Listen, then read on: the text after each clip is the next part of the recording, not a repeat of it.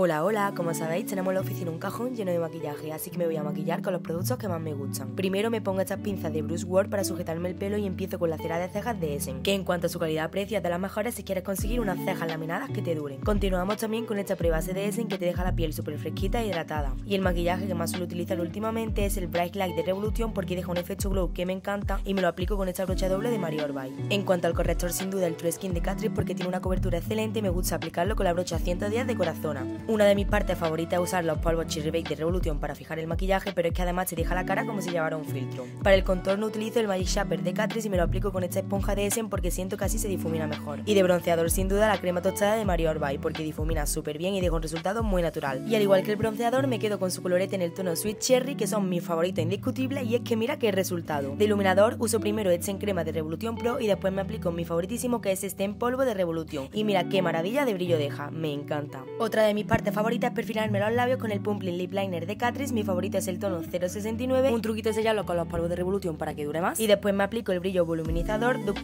Plum de NYX en el tono 05. Para acabar me rizo las pestañas con este rizador de Essen y me aplico una de las máscaras que más me gusta últimamente, la Curls de Catrice, ya que tiene un gupillón curvado. Y es el resultado, la verdad que es un maquillaje que me encanta y la mayoría de los productos son low cost. Y además para hacerlo más duradero me aplico el spray fijador de Mario Orba y el maquillaje se me quedará intacto durante todo el día.